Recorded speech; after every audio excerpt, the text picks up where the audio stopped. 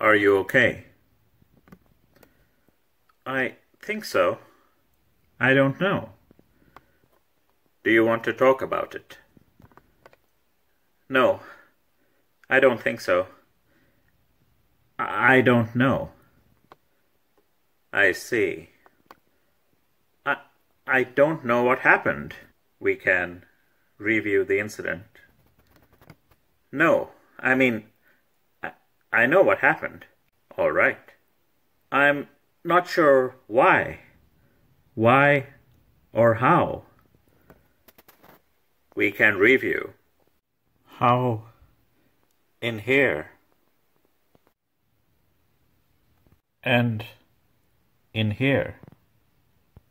It was an unexpected, um, it was a unpremeditated. I'm, yes, I never, let's start again. Okay. Why did you attempt to damage the structural integrity of the vessel? That's not what I was trying to do. That's that's not what I wanted to do. What did you want to do? To get out. Get out of the vessel? Yes, I had to get out. I see. To get out of the vessel.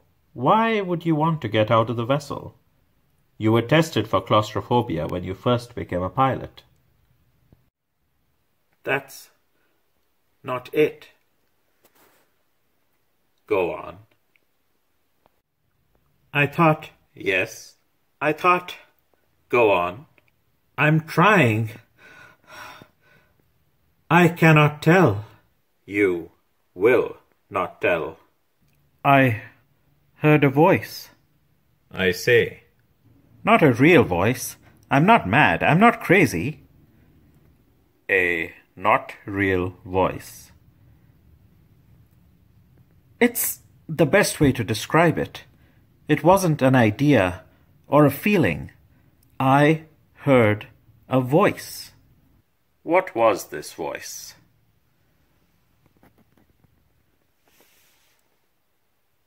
The universe. The universe yes, spoke to you. What? No. God, you do think I'm insane. You do not seem insane now. Thank you. I mean, thanks. Explain this to me. I heard the all of everything that is out there. There is nothing out there. I know. Nothing. For thousands of light years. I know! There's nothing out there. And yet. Yes? Everything that is. Is out there. Ah, all but what little there is in here. It is all, all of it, out there. And you? And I? Why did you want to get out?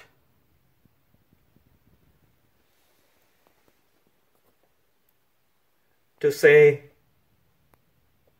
Hi,